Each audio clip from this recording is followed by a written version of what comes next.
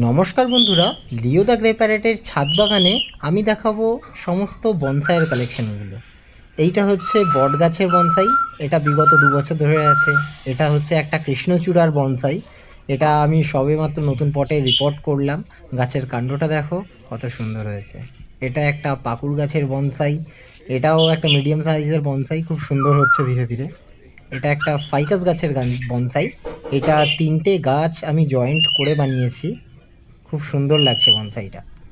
এটা আমার কদবেল গাছের বনসাইটা। নতুন সবে প্রুনিং করে রিপোর্ট করেছিলাম, নতুন পাতা টাতা ছেড়েছে। তারপরে রয়েছে এই ফাইকা, আরেকটা ফাইকাস গাছ। এটাও আমি সবে প্রুনিং করে রেখেছিলাম। এটা চাইনিজ বট। এটা আমার হচ্ছে সুইট লেমনের একটা বনসাই। তারপরে রয়েছে কিছু জঙ্গল জলেবি। এগুলোও আমি কাটিং করে রেখেছি, আস্তে আস্তে বাড়ছে। এটা আরেকটা কদবেল, বনসাই কদ কদবেল। এইটা রয়েছে বেল গাছের বনসাই। এটাও প্রুনিং করে রেখেছি। এই গাছটা আমি কালিম্পং থেকে নিয়ে এসেছিলাম, এটাকেও বনসাই করার চেষ্টা করছি, দেখি কতদূর সাকসেস হয়। এটা হচ্ছে টেবিল কামিনী গাছ। তারপরে রয়েছে এই গাছটার নাম আমি মনে করতে পারছি না। এটা একটা ঝাউ গাছেরই একটা প্রজাতি। খুব সুন্দর বনসাই হয় এটাতে। আর এইটা হচ্ছে আমার আরেকটা ফাইকাস গাছের বনসাই। ছোটোর মধ্যে খুব সুন্দর। এটা নিম গাছের বনসাই, এটা আমি হার্ড প্রুন করেছি। এটা আমার মালবেরি গাছের বনসাই। বনসাইটা খুব সুন্দর। আস্তে আস্তে বড় হচ্ছে গাছটা।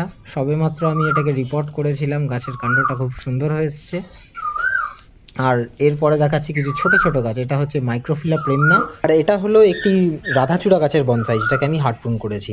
বন্ধুরা, ভিডিওটা ভালো লাগলে পরে প্লিজ একটা লাইক করো। আর এইখানে তোমরা দেখো যে ছোট ছোট কিছু বনসাইয়ের চারা রয়েছে। এটা বক্সউডের বড় পাতা, তারপরে রয়েছে বক্সউডের ছোট পাতা। তারপরে এখানে রয়েছে ব্লুবেলের একটা ছোট চারা, বাও বাও গাছ আর কৃষ্ণচূড়া সমস্ত। তাহলে বন্ধুরা, আজকের ভিডিওটা যদি তোমাদের ভালো লেগে থাকে, তাহলে প্লিজ ভিডিওটা লাইক করো আর চ্যানেলে নতুন হলে সাবস্ক্রাইব করো। আরও সুন্দর সুন্দর বনসাইয়ের ভিডিও দেখার জন্য চ্যানেলে অনেকগুলো বনসাইয়ের ভিডিও দেওয়া আছে। ভালো লাগলে প্লিজ ঘুরে আসতে পারো। নতুন নতুন বনসাই আইডিয়া পাওয়ার জন্য চ্যানেলটার সাথে থেকো।